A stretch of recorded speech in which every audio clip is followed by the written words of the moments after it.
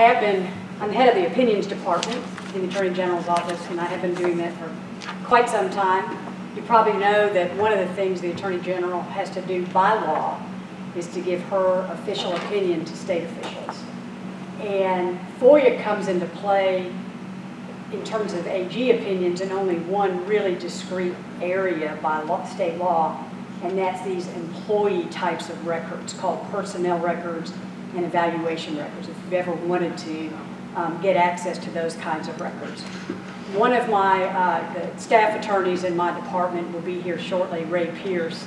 He's going to speak for a few minutes on those AG opinions with respect to those kinds of records. And here is Ray um, as we speak. And so I'm just starting Ray, and I'm just introduced you, and in, in about 30 minutes, Ray will talk to you about AG opinions, those kinds of records, which you probably know is an exemption under FOIA. So I'm just going to do a general overview of the law, and in my 30 minutes with you, it's going to be kind of, a, I, want, I don't want to say a dumbed down version, but if you've dealt with FOIA at all, either making requests, which I think is probably uh, folks in this group are mostly going to be in a position of wanting access to records or meetings, right? Um, you know, I, I, speak to all sorts of groups, right? And I speak to um, officials who are in a position of enforcing FOIA and complying with FOIA, as well as members of the press and public who want access. So we've spoken to all sectors, um, um, you know, about the law. So we, over the years, we've sort of developed this PowerPoint as a kind of a simple, I mean, I call this simple, simple as. The law is not a simple law. It just isn't. Um, and I've dealt with it for 25 years plus. And as an attorney, I can tell you, probably weekly, there are questions that come up that Ray and I are scratching our heads going, man, I mean, this is a new question. I cannot believe I've been at this for decades, and, you know, here's a new one. But it's a pretty lengthy law. You had a handbook here. Hopefully you've seen this before. It's in its 19th edition, I believe. the Press Association, probably know, publishes this. We, um, Ray Spearhead gets all the credit for um, the edits that go after every legislative session. We get it updated, okay?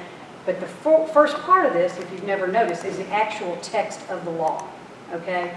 So if you really, really live and breathe by FOIA, this is a good thing to keep in your hip pocket um, because it has the actual language. And you'll see it's lengthy. It's not a short law. And unusually for state laws that our legislature enacts, there's actually an intent statement in FOIA, in our FOIA law, which, as I say, is unusual for state laws, okay, where the legislature actually wrote, this is what we intend by this law. And this concept of transparency and the act to be construed in favor of openness, that is, public access to what we call non-exempt public records, and I'll explain that a little bit more in a few minutes, and then non-exempt public meetings, the act to be construed in favor of openness for the public and exemptions, which is some of what Ray's going to be talking about, are to be narrowly construed. And that kind of comes from Arkansas Supreme Court case law, but it really starts from the language of the act, which as I say is unusual for the legislature to actually tell us what they intended by this law instead of us having to sort of divine what they intended by the written word, which is what I've done for 30 years, is try to interpret uh, statutes. That's, that's basically my law in, in authoring um, opinions for the Attorney General's review and approval. So let's get into the simple, and I, you know, cannot overstate that it's not a simple law, but we've tried to simplify it. These three steps. Seems